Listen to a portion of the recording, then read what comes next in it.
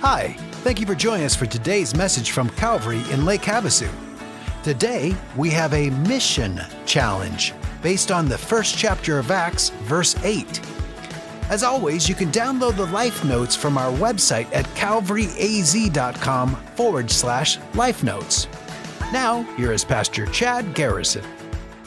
have a seat. And I'm going to invite you to take your Bible or your Bible app and turn to Acts chapter 1. The book of Acts, chapter 1, is our text. And if you don't have a Bible with you, that is perfectly fine. If you're here at our Sweetwater campus, then there's Bibles in the seats around you. Grab one of those, turn to page 1080, and you'll be able to find Acts chapter 1. If you're at our Parker campus, then uh, and there's a table right in the back, middle of the room. Just get up right now, go back there, grab a Bible, turn to page 1080, and you'll be able to follow along with us.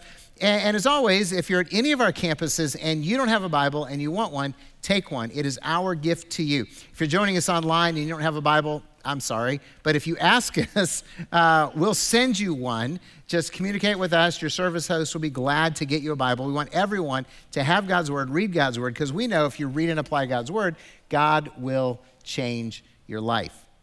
Hey, uh, we are. Uh, oh, by the way, I'm not preaching alone tonight. Did you notice that? I don't, I don't know if you caught that or not, but uh, Amber Smith, our serve coordinator, is with me, and uh, we've got some guests that will be joining us throughout the, the evening. So, uh, but it's just starting off with Amber and I, and uh, glad that you're here because the last few weeks we've been talking about the generosity challenge. And then we talked about the legacy challenge. We talked about the tithing challenge. And I know, I know it's been challenging for many of you listening to this. Some of you are like, when are you going to start talking about something else? Well, hey, I just, can I just remind you that everything we teach is based in God's Word. And if you take God at His Word, if you read and apply God's Word, God will change your life. And some of it is easy, and most of it is not. And, and it really requires submission and surrender, but all of it is to bless us. So if uh, you haven't enjoyed the past few weeks, uh, I'm sorry, but uh, we can't change what we teach. It is the Word of God, and if you surrender to Jesus, He's going to bless your life incredibly. So that's why we teach what God's Word says, because we want to bless you and have you have a blessed life. So this weekend, we're con- concluding the Generosity Challenge, and we're talking about the Mission Challenge. The Mission Challenge. Acts chapter 1, verse 8. Jesus, in his final words to his apostles, says these words He says, But you will receive power when the Holy Spirit has come upon you, and you will be my witnesses in Jerusalem, all of Judea and Samaria, and to the end of the earth. And then if you read on, you find out that then Jesus ascended to heaven and the angels were there saying, Hey, stop looking up and start getting to work. No, he, he told them a few things. But, uh, but here's the thing if you are a follower of Jesus, if you believe that Jesus is the one and only Son of God, Savior of the world, if you believe Jesus died on the cross to pay for your sins, you believe that Jesus was raised from the dead, and you've made a commitment to follow Jesus with your life, then please understand that this challenge is for all believers. The challenge of Jesus. You will receive power when the Holy Spirit comes upon you, and you will be my witnesses this is for all of us who claim Jesus as Lord. Now, if you're here in the room and you don't yet claim Jesus as Lord, this challenge isn't for you. The challenge for you is to decide whether or not you believe Jesus is the Son of God, Savior of the world. And we want you to do that. We want you to be like the young couple that declared their faith in Jesus this week uh, when it was cold, windy, and uncomfortable, and they didn't care. They did it anyway. So, uh, but if you're a follower of Jesus, you're a witness for Jesus. And to be that witness for Jesus requires two things. Two absolute things for all of us. This is, applies to every single one of us. First of all, character.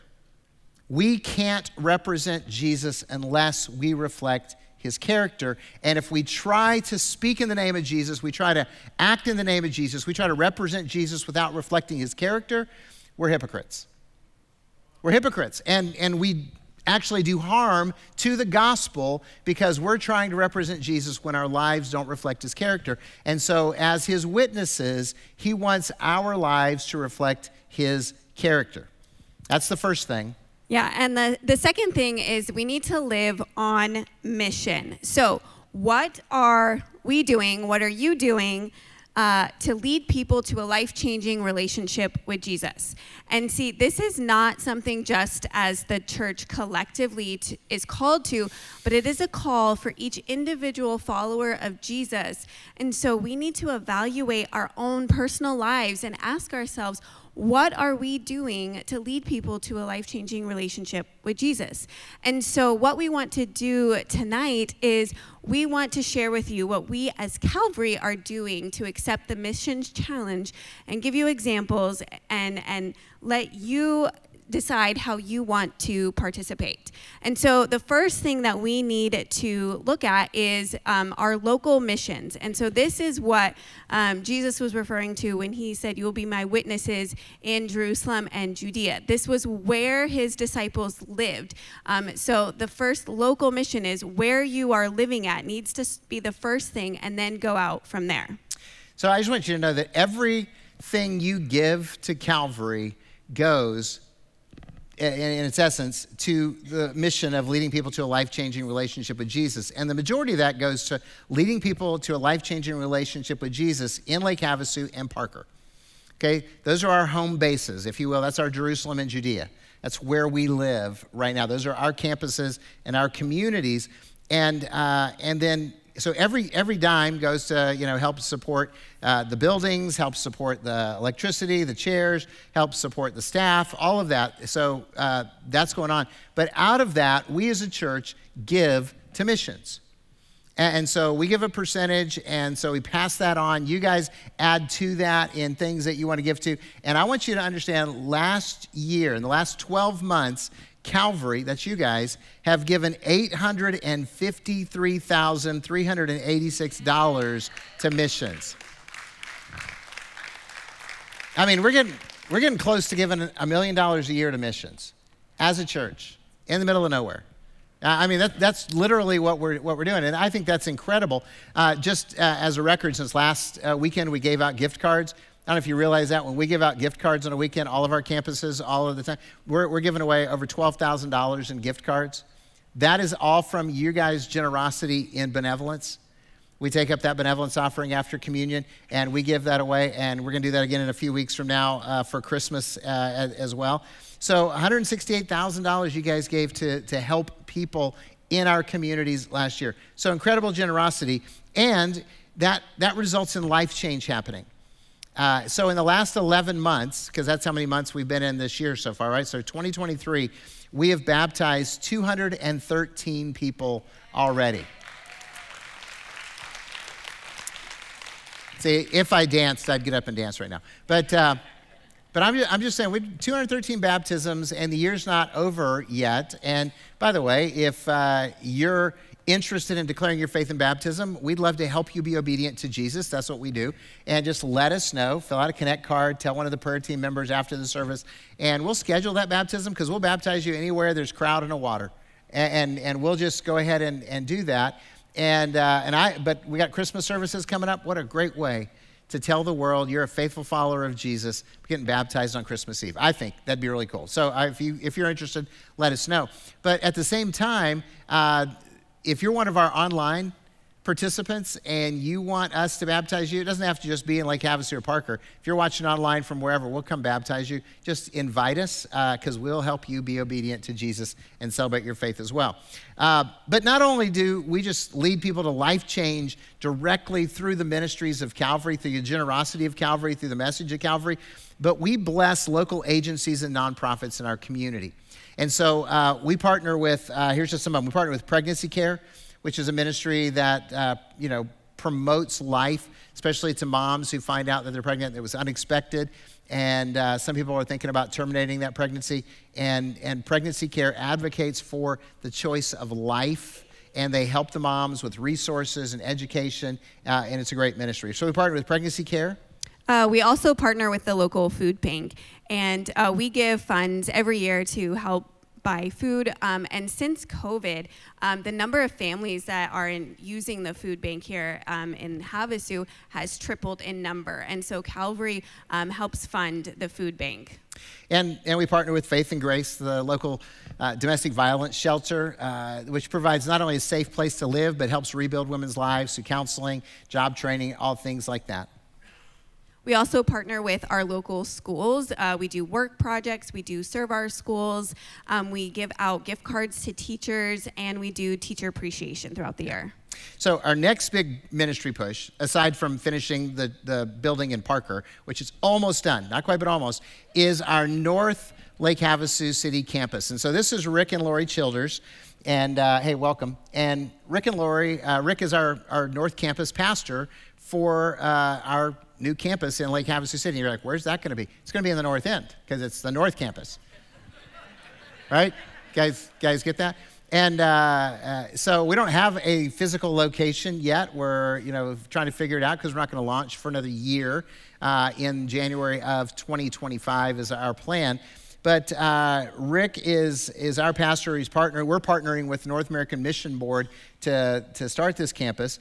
And so, Rick, I just got to ask you, how did you go from uh, being, you know, you've been a mortgage broker lately, uh, mortgage broker to being our campus pastor for our North Campus?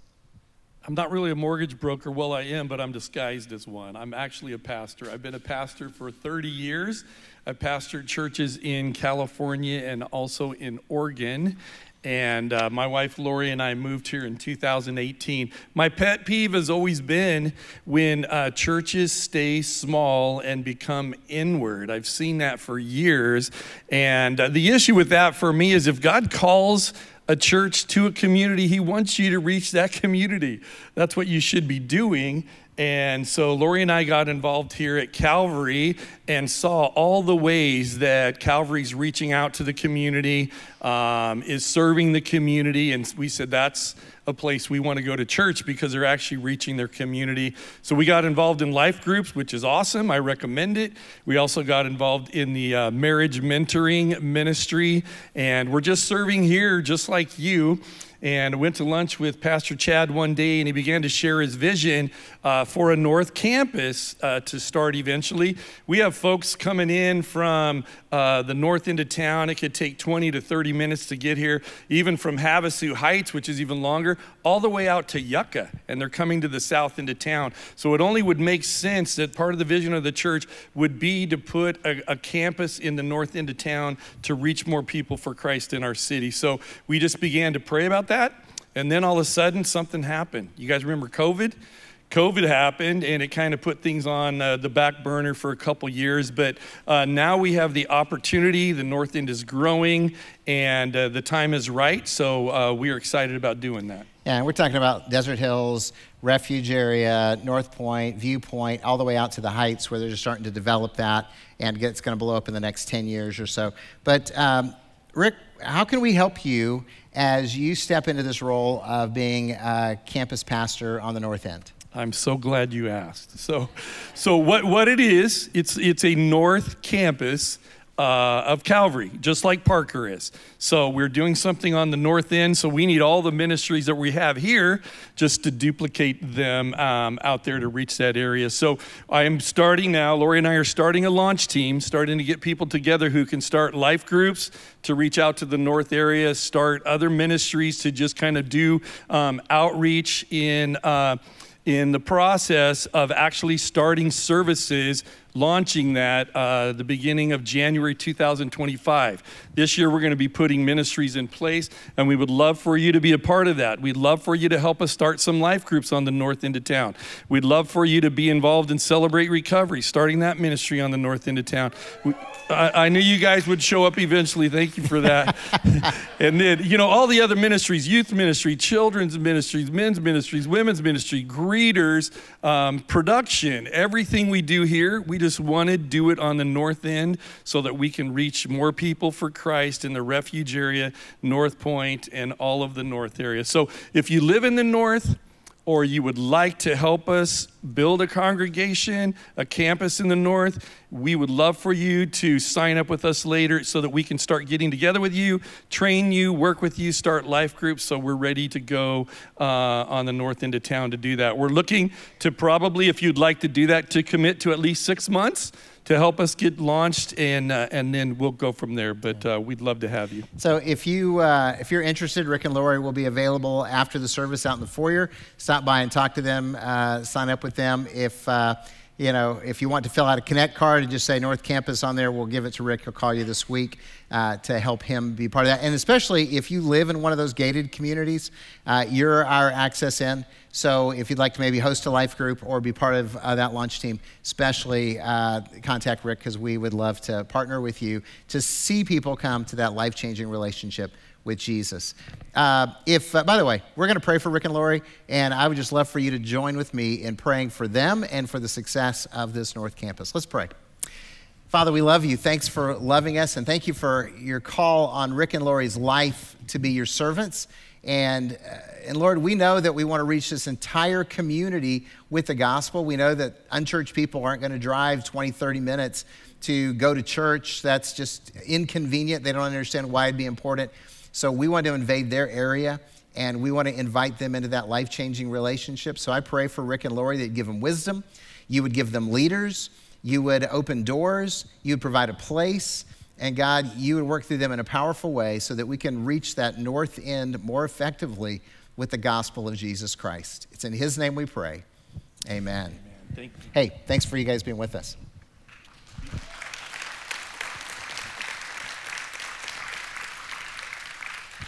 Now, that's just some of what we do in, to be Jesus witnesses in our local context.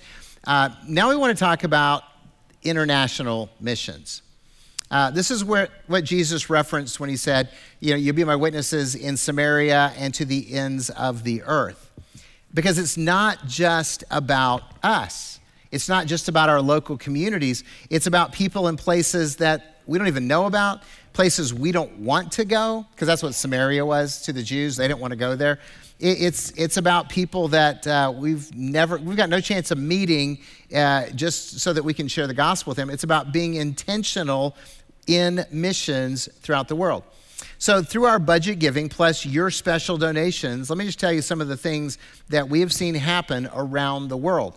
So, we, as Calvary, have built over 100 Mozambique wells.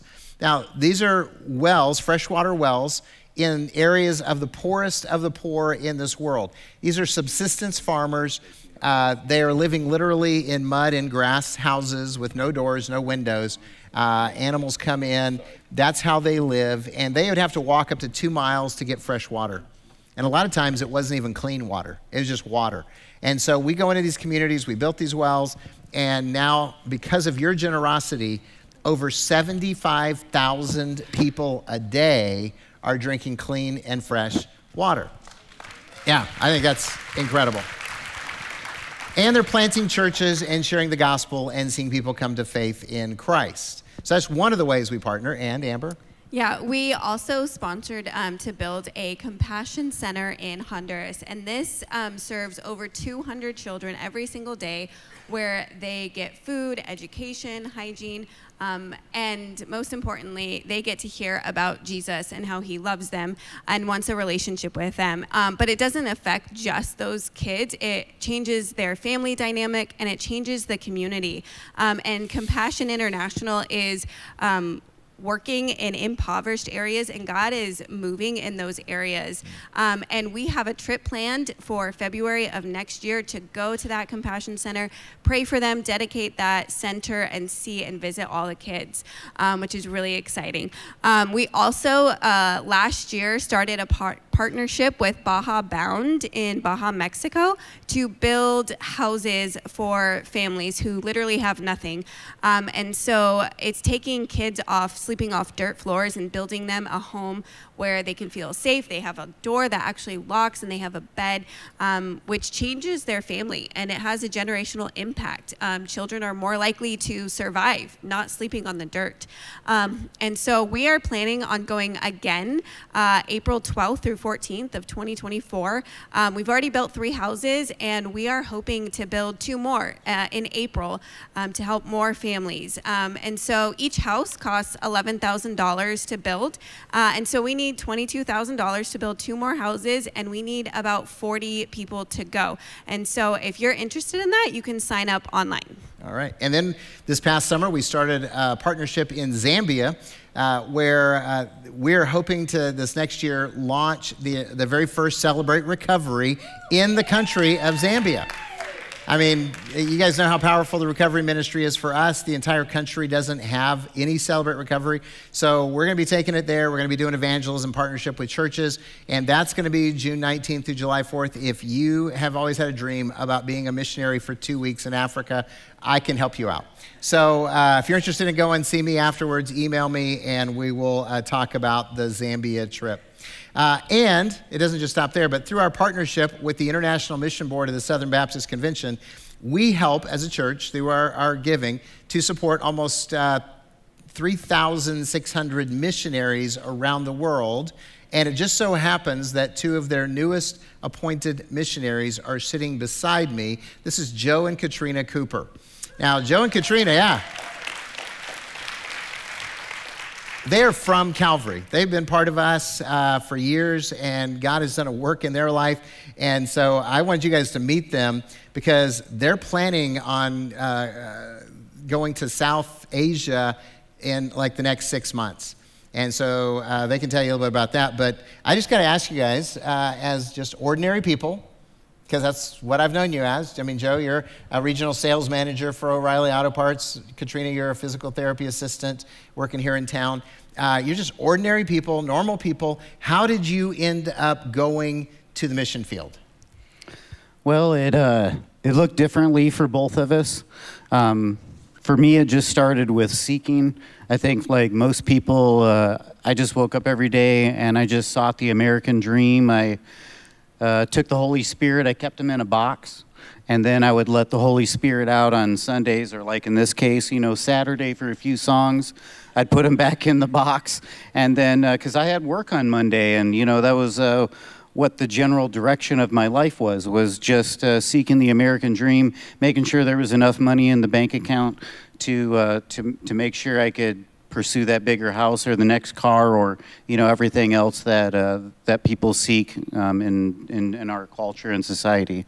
Um, it wasn't really seeking um, the Lord or it wasn't really seeking Jesus as being my Lord and Savior um, until the call to missions came, and then I started putting value more on what His call for my life was rather than my own call for my life. And then um, it looked a little different for Trina because uh, she she I got the call first, and then she was like, "Well, I'll let her tell you about that." But she uh, she has her own story for the call, but uh, it, it, was mine first, and then um, I had to pray for the Holy Spirit to bring her along.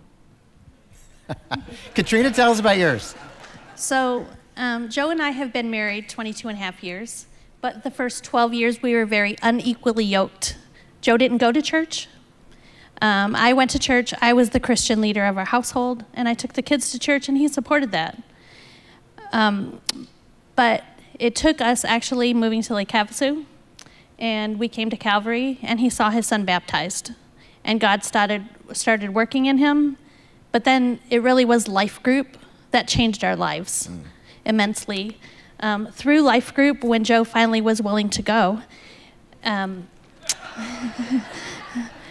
Then God came into our house with such a force I can't even describe it. There aren't words. And um, we started growing in love in ways I can't describe as we grew as mature Christians. And at several years later, we were able to be rebaptized with God at the center of our home. And at our 20 year anniversary, we renewed our vows with God at the center of our marriage and our house. And so, like Joe said, he had the call to missions and he brought it up to me, and I was like, mm, I'm not doing that. Someday, I'm going to be a grandma, and God is not going to put me on the other side of the world away from those babies. That's not fair. So, it's okay. I'm going to stay here, and I'm going to keep doing my ministry of my job and you're going to go, and God's going to bring you back, and you'll just visit me. and I sought out the counsel of a Christian mentor who said, Oh, I'm going to pray for you. God doesn't split up couples. Several years later, our friend came back from the mission field and he invited us to his home to watch a movie Sheep Among Wolves. And we were watching this movie, and as we're watching this movie, that absolutely should have deterred me. Because this movie is about how Christians in other parts of the world are persecuted in ways that can't be described and it's unimaginable, but they do nothing but praise God for every single persecution, and it's considered a blessing. And so Joe was like, Oh my gosh, it's over. Trina is never going. and we were driving home from Kingman, so it was a long drive. I don't even think we were in the drive 10 minutes, and I said, God is calling me. And he said, What? I said, I'm jealous. I want to love God like they do. Yeah. And so we started searching out mission boards, and we settled on the International Missions Board because they have such a great training program. So, um, how do you um, trust God in the midst of fear that comes as you're preparing? Because you're going to leave everything you've known and you're going to a new place and you're going to go to a place that is pretty dangerous. Well, it's not that it's not scary. There are aspect, there are aspects of it that uh, that are scary, and everything that we're leaving behind is scary. Um, but uh, the the main push is that it's hard to conceive in our culture, but um, in South Asia, over 99% of them are non Christian. That means that the vast majority of the people that you meet in your interactions with everyday life, it's the first time that they will ever meet a Christian, and maybe the last time that they'll ever meet a Christian.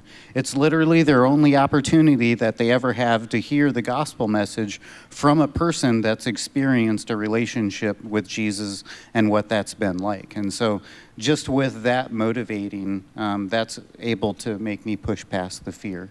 So, you just to clarify, you care more about the people's eternity than whatever fear you're facing. Yeah.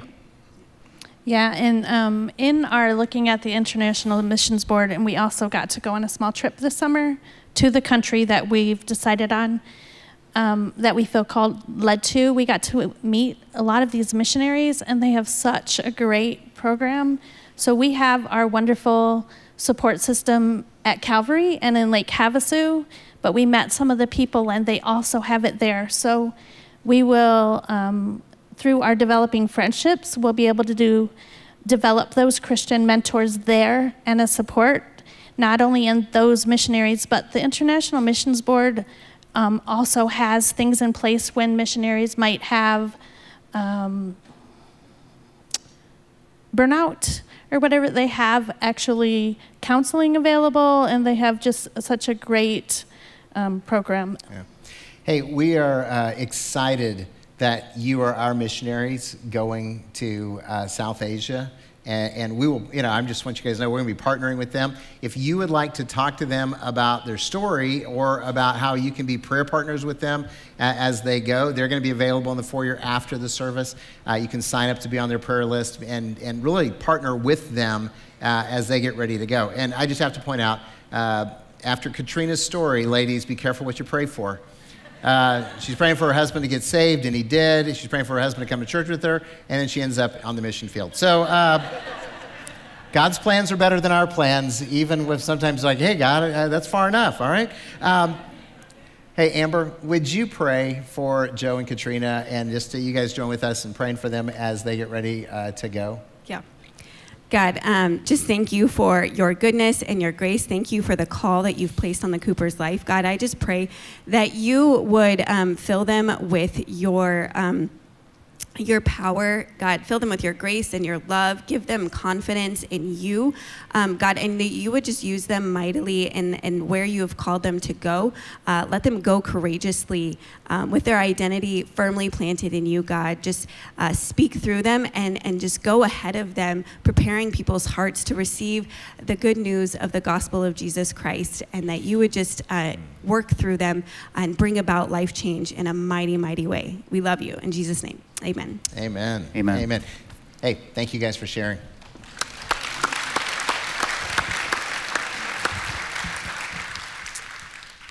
So, we come back to where we started. We return to the mission challenge. Does your life, do your actions, do your words represent Jesus? Because we can't really represent Jesus unless we reflect his character. And how are you leading people to a life changing relationship with Jesus? How are you participating in the mission of Christ? See, we are all called as individual followers of Christ to be Christ's ambassadors to the world, sharing his love, um, starting with where we live and then going to the ends of the world. So, I'm going to give you four practical ways of how you can live this out. And the first one is by praying. This is something every single one of us in this room and watching online can do. We can pray for people that don't have a relationship with Jesus. We can pray for missionaries around the world, which you now know two of. Um, we can pray that God would use them and, and work in the communities that they're living in. We can pray for compassion kids and other kids around the world who are starving and in need. Um, we can pray for God to continue to send resources so that we can do missions both locally and around the world. And then the second one is that we can give. See, God has called us to live generously. And since we live in America, we have more resources than most other places around the world. See, we have cleaner water in our showers than people living in Mozambique do, which is why we give to build wells. We have safe homes and we ha- don't have to sleep on the dirt, which is why we build houses for families in Mexico. And since we are blessed to live in America, let's live in a way to use our resources that God has blessed us with to be able to give generously and care for those who don't have anything. So, prayer, giving, and then we can serve. See, God has called all of us to serve in some capacity. And there are so many different ways that you can serve. You could serve with security or the medical team. You could be a first impressions greeter. You can make coffee. You can serve with children or youth. Um, you can serve in the community. We have Night to Shine coming up in February. There are endless ways that you can serve but we're all called to serve. And so if you're not serving in some area right now, then ask yourself, what do you need to do to take that next step of obedience and serve Christ? And then the last thing that we can do is we can go. And some of you might be called, like the Coopers, to go overseas. Some of you may be called to go on a trip to Honduras or Zambia or Mexico. Or maybe it's a trip that's coming up closer to home, at Peach Springs, December 10th. Um, or some of you, it might just be going across the street and inviting your neighbor to church. But whatever God is calling you to do, will you listen to his voice in your life and will you respond in obedience? You see, I believe that God wants all of us involved in his mission. I mean, this is the mission challenge. And the question that all of us need to struggle with is what are we going to do with our lives? Let's pray. Father, you are good to us. Jesus was the missionary that brought the good news into this world, that brought the good news to us. You have changed our lives, and for that, we are grateful because you have changed our immediate uh, present, but you've also changed our eternal destination. And, and so, in gratitude, we simply want to say thanks. And God, we want you to use our lives. And, and so, uh, just speak to us. We're listening. And, and God, while it may not be easy for us to hear what you want us to do, our ears are open and our hearts are yours, and we will follow you. Uh, whatever you ask of us, we will do. That's our commitment, that's our prayer. We ask it in Jesus' name. Amen. A common misconception about missions is that it's work for others to do. The reality is that all followers of Jesus are to be missionaries. Whether you travel internationally to reach the lost or stay in your own town, the Great Commission applies to all believers. To hear more about Calvary, we invite you to visit our website and sign up for our Word for the Day daily devotionals. To do so, please visit calvaryaz.com forward slash Devo. That's spelled D E V O. Well, that'll do it for today. I hope you'll join us again next week. Bye bye.